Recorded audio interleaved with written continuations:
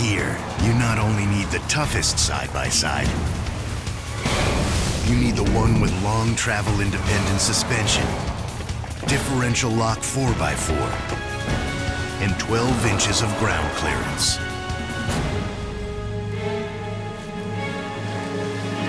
The Rhino 660 Automatic from Yamaha. A lot of people would be lost without it.